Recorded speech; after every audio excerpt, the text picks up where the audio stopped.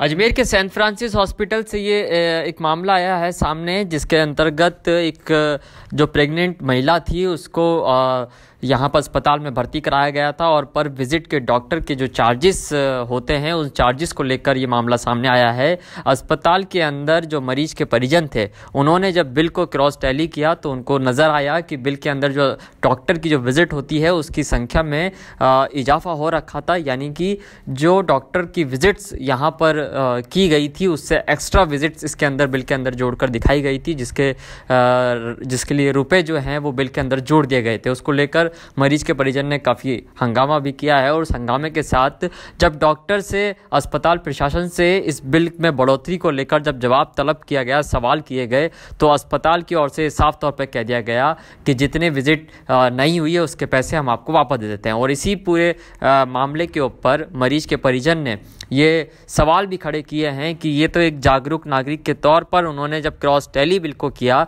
तो उनको पता चल गया कि बिल के अंदर इस तरीके से धोखाधड़ी की गई है। लेकिन अगर कोई और दूसरा आदमी अगर इस तरीके से इस बिल में अगर चेकिंग नहीं करता, कोई ग्रामीण इलाके से जो लोग यहाँ पर आते हैं, वो बिल को अगर टैली नहीं करते हैं और नहीं जान पाते तो उस मामले में आखिर अस्पताल क्या पैसे वापस करता। ये बड़े सवाल खड़े किए हैं और अस्पताल के अंदर अस्पताल से जिस तरीके की ये घटना सामने आई है, उसको ले, उस, उसको लेकर कहीं ना कहीं अस्पताल की जो पारदर्शिता है उसको भी लेकर कई सवालिया निशान खड़े हुए हैं। हालाँकि इस पूरे मामले में फ़िलहाल क्लॉक टावर थाना पुलिस में अभी मामला दर्ज नहीं हुआ है, लेकिन जो मरीज़ के परिजन से हमारे संवाददाता की जो बातचीत है, उसके मुताबिक मरीज़ के परिजन ने कहा है कि सेंट फ्रांसिस हॉस्पिटल के प्रशासन के खिलाफ वो क्लॉक टावर थाने के अंदर मुकदमा भी दायर करवाएँगे।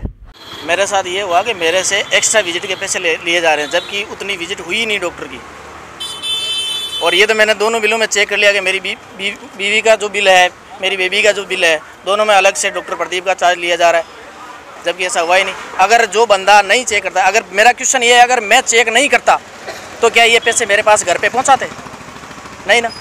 कौन से हॉस्पिटल में आपने अपनी वाइफ को भर्ती करवाया सेंट फ्रांसिस क्या ये धोखाधड़ी कर रहे हैं आपके बिल्कुल हंड्रेड परसेंट चार सौ बीसी कर रहे हैं बिल्कुल चार सौ बीसी कर रहे हैं साहब। ये तो मैंने पकड़ा है अगर नहीं पकड़ा होता तो पता नहीं किस चीज़ के साथ किया होगा और किस किस के साथ करते।